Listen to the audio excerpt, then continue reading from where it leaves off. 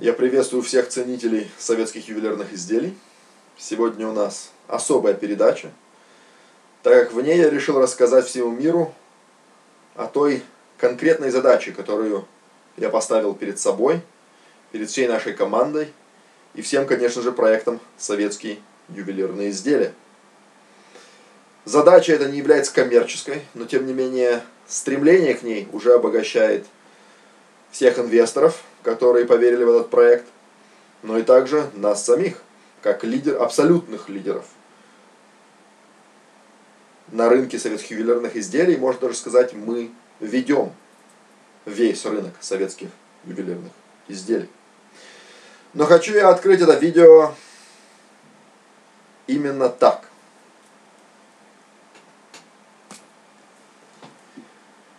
Значит, э, как вы видите, перед вами чаша, наполненная советским золотом. Сделал я это неспроста. Здесь довольно-таки интересный смысл.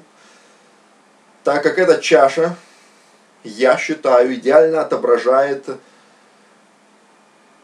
то состояние рынка и, можно сказать, сам рынок советских ювелирных изделий во всем мире. И особенно в бывших странах СССР, бывших, бывших республиках СССР. То есть, если взять все советские ювелирные изделия со всей России, собрать их в одну кучу, вот примерно вы это и увидите, просто в более обширном масштабе.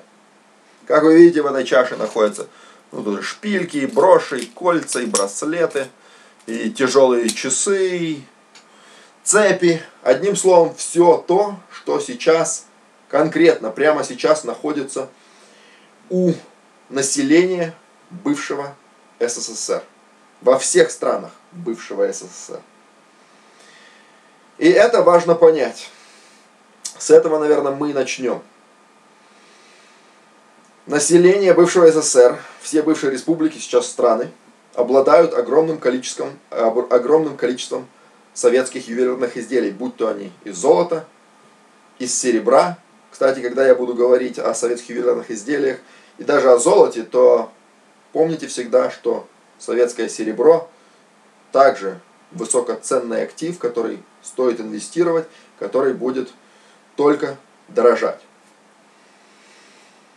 Но еще раз возвращаясь к главной теме, у населения бывших республик, сейчас стран СССР, бывшего СССР, находится огромное количество советских ювелирных изделий. Распределено оно все равномерно. И можно сказать с уверенностью, что в России, Украине, Белоруссии особенно, да и в других странах, как э, прибалтийские страны, Литва, Латвия, Эстония, также у кавказских стран, скажем, в Армении, Грузии, Таджикистане, Казахстане и так далее – у этого населения, можно сказать, у каждого второго, третьего человека, может быть, в прибалтийских странах они избавляются от своего советского золота и зря, но тем не менее в среднестатистической у каждого третьего человека есть одно, два, может три больше советских ювелирных изделий. Скорее всего, одно из золота и несколько из серебра.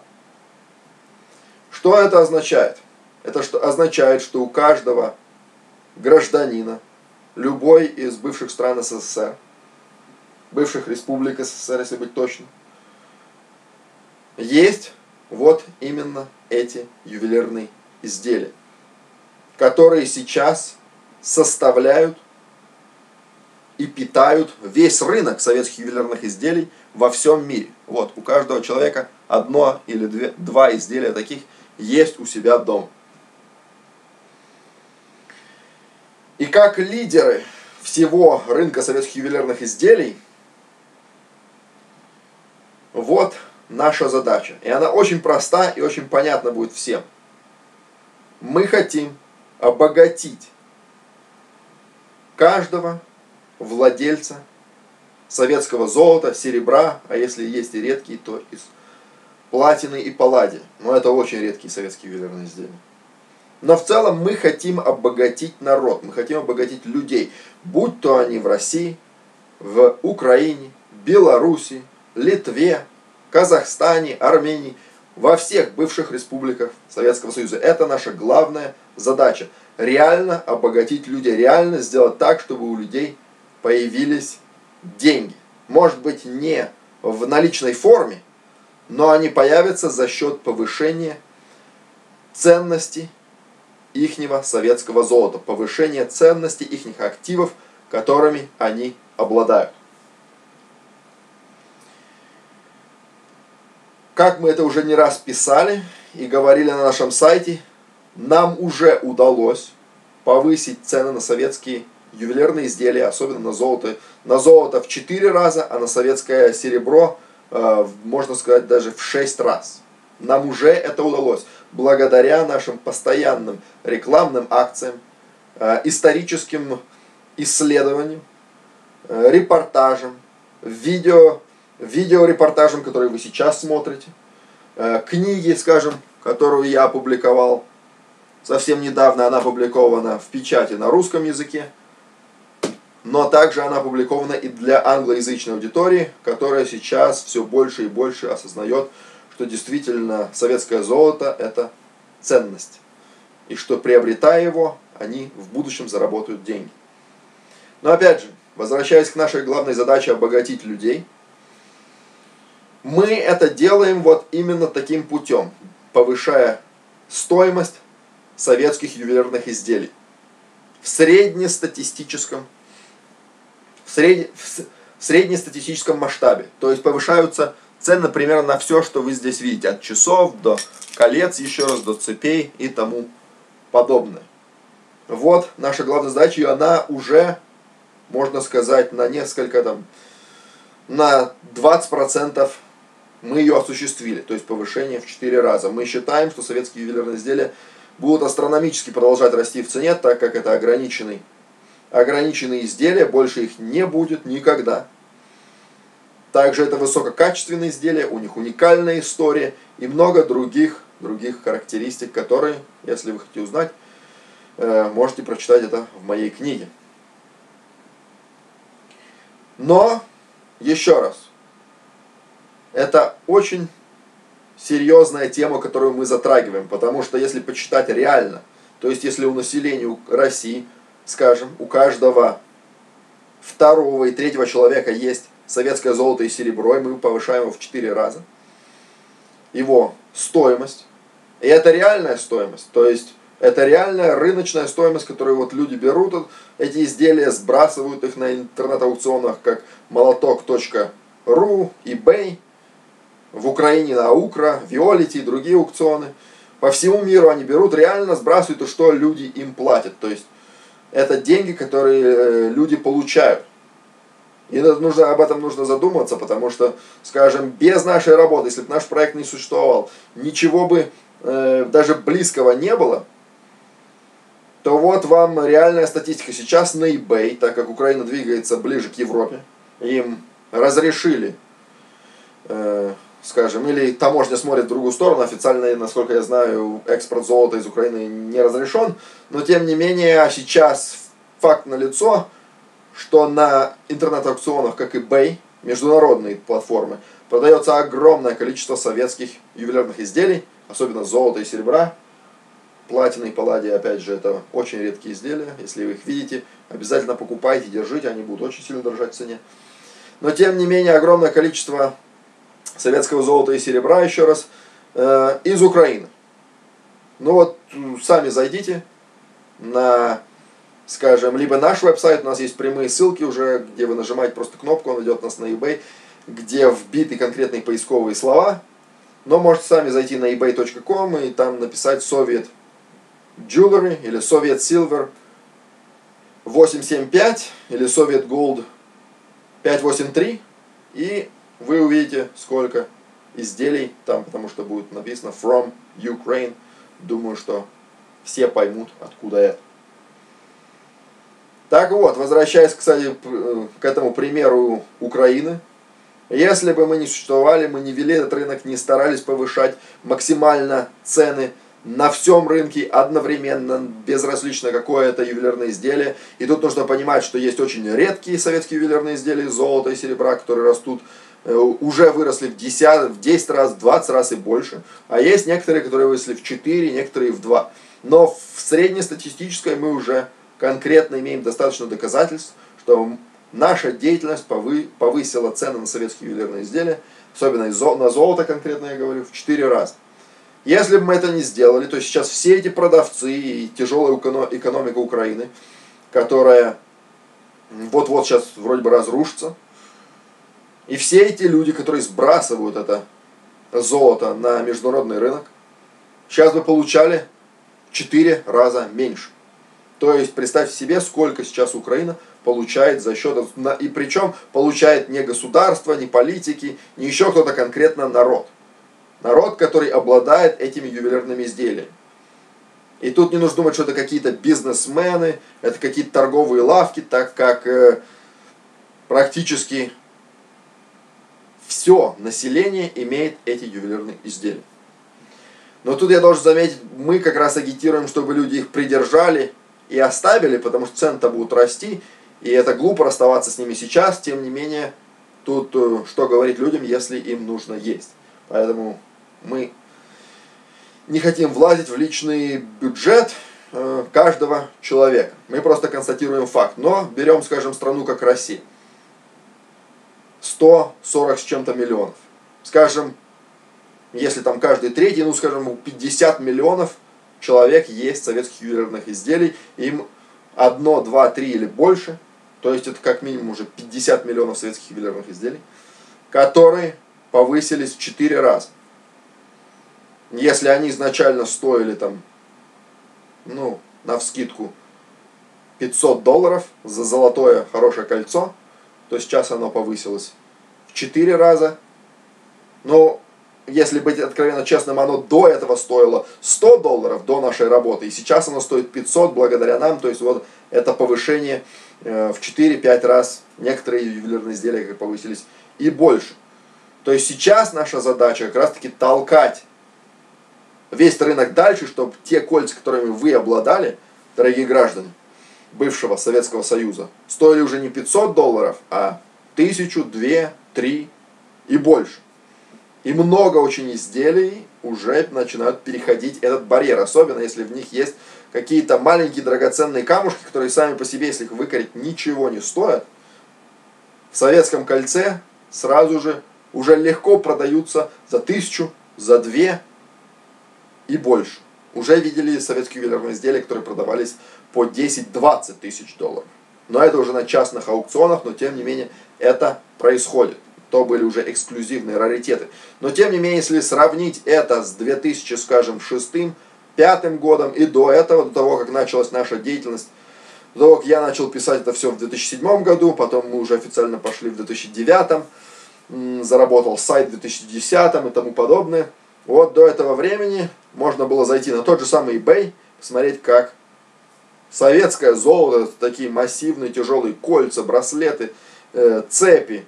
Еще раз говорю, все, что вы здесь видите, вот это все стоило там 150 долларов, 100 долларов, абсолют, шло как абсолютный лом. Поэтому вот раскрыт секрет. И мы призываем всех людей – которым нерав... которые неравнодушны к своей истории, инвестировать в нее через приобретение советских ювелирных изделий.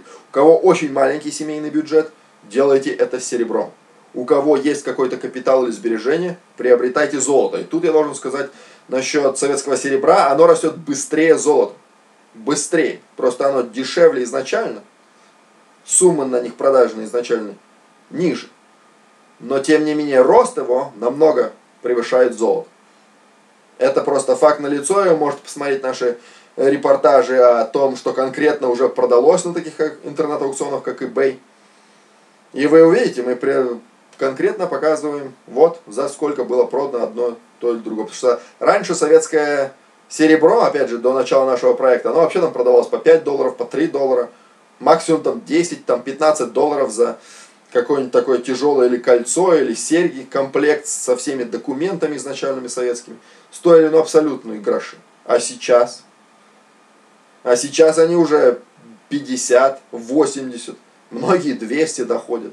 Это за советское серебро. Поэтому не игнорируйте его. Тем не менее, тот, кто хочет конкретно посмотреть рынок, может найти очень по хорошим ценам э, и очень хорошие советские ювелирные изделия из серебра. Также это можно сделать из золота. И, кстати, здесь э, важно отметить такой момент.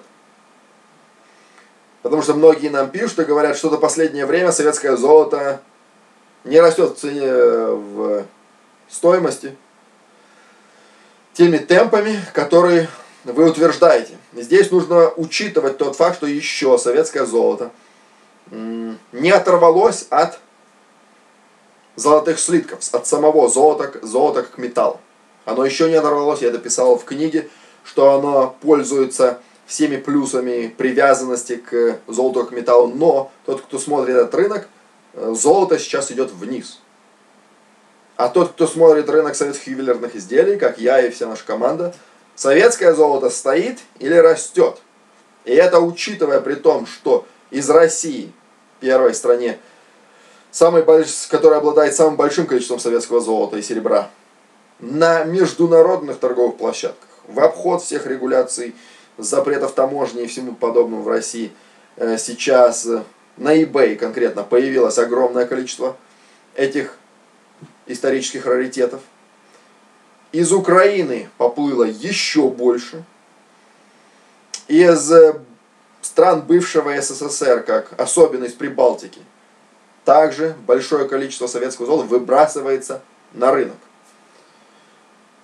И при всем этом, при понижении золота как металла в цене, при повышении количества возможных экземпляров на рынке, которое удвоилось практически, цены на советские ювелирные изделия, особенно золото и серебра еще раз, остаются стабильными и потихонечку продолжают расти. И учитывая еще тот фактор, что это было лето, и мы как бы взяли большой отдых – и не сильно занимались рекламой, агитированием этого развития и развитием всего этого рынка. Что сейчас наступает рабочее время, и мы начинаем это еще раз делать. Поэтому все могут быть уверены, что цены на советское золото и серебро будут только расти, расти, расти. И мы этому будем всячески сопутствовать. То есть все, кто уже владеет, все владельцы советских ювелирных изделий, все инвесторы, все коллекционеры, кто обладает вот такими раритетами, все ожидайте их рост в стоимости. Поэтому вот наша главная задача. Еще раз. Мне очень важно обогатить народ. Вот эта самая главная задача, она не является еще раз коммерческой. Я от этого никак не зарабатываю. Никак не зарабатываю. Я просто лично для себя поставил эту цель, чтобы граждане России, еще раз Украины, Белоруссии, как минимум, но включая все страны бывшего СССР, от Прибалтики до Кавказа, заработали вот на советском, этом, советском золоте. Заработали через повышение его стоимости, то есть, скажем, вчера оно стоило 100 долларов, а сейчас 200, 300 или 400. И вы можете это реально пойти в ломбард, пойти на интернет-аукцион и продать это дороже, потому что все знают, ага, советское золото ценится. Вот какая задача, и мы ее осуществляем. Мы осуществляем ее успешно. И я уверен, что, ну, я даже не, не нужно даже быть уверенным, люди это уже почувствуют. Советское золото уже стало цениться как исторический раритет. До того, как я занялся этим проектом, такого ничего не было. Уже начало цениться. То есть сейчас задача это дальше, дальше и дальше толкать, чтобы вообще каждый граждан бывшего СССР почувствовал это, запомнил это, понял это, осознал. И когда он видел советское золото, он, ага, это наша история, это моя история. И тут не нужно думать, что, скажем, в Украине они все это сбросят, потому что был мощный киевский ювелирный завод, а также много других, одесский ювелирный завод был мощнейший. То есть это и украинская история. Также были в Прибалтике во все ювелирные заводы, э, артели, фабрики и тому подобное. Они были и на Кавказе, везде. То есть каждая страна, бывшая республика, сейчас страна СССР, может, и каждый житель этой страны может найти что-то, которое непосредственно связано с их историей, которое дорожает, которое уникальное, редкое, неповторимое, и которое привлекает, которое изделие, которое привлекательно инвесторам уже, и международным инвесторам. Поэтому задумайтесь об этом. И, кстати, напоследок могу сказать, что сейчас очень много советского золота приобретается в Израиль. Поэтому э, косвенно или нет, это не была страна бывшего СССР, но тем не менее в Израиле сейчас очень много коллекционеров советского золота. Мы с ними переписываемся активно. И они очень заинтересованы в его повышении, повышении стоимости на их приобретенные активы. Поэтому вот такая ситуация, вот наши задачи. Надеюсь, вы с ними согласитесь и Вперед, инвестируйте в советские ювелирные изделия. Желаю вам успехов, а самое главное, хорошей прибыли. Счастливо.